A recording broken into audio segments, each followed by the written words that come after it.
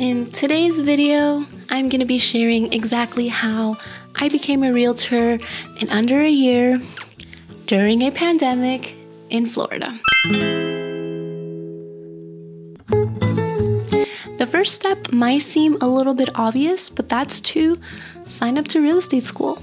I used Real Estate Express because I didn't want to risk going to the school, physical school, during a global panorama, but they were really well they worked really well for me um, and there's a ton of other programs like that so definitely do your research and see which one works out best for you number two I submitted my application to the state.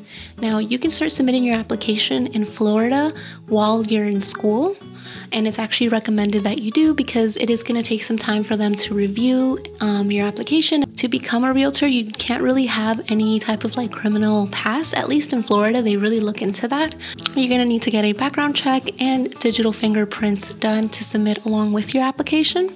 In the meantime, while your application is processing, definitely study because there is an end of course exam and if you don't get at least a 70 or higher. I believe it was 70 70 or 75 if you don't get it 70 or higher you're gonna have to wait 30 days to retake that test. Once you get your application accepted you will be allowed to take the state exam. So i actually failed my state exam twice which is quite embarrassing but i will say take the state exam seriously and study. I had friends that were already in the industry and they were like, Like, yeah, it was so easy. It was such a breeze. I passed it my first time. that's not normal. Most people will have to take the test a few times, so don't get discouraged if you don't pass it the first time around. Something that really helped me out when I was studying is this program called Anki.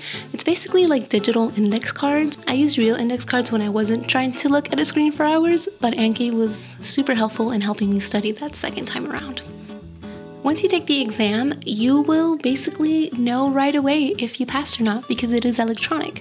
So, if you passed, congratulations. Now you can go find a broker. If you're not already assigned to a broker, this step is really important because if you don't hang your license with a broker, it will not activate and you will not be able to practice. I hope that this video helped you out wherever you are in your journey and stay tuned for tomorrow's video where I will be talking about how you can get into real estate whether you have a license or not.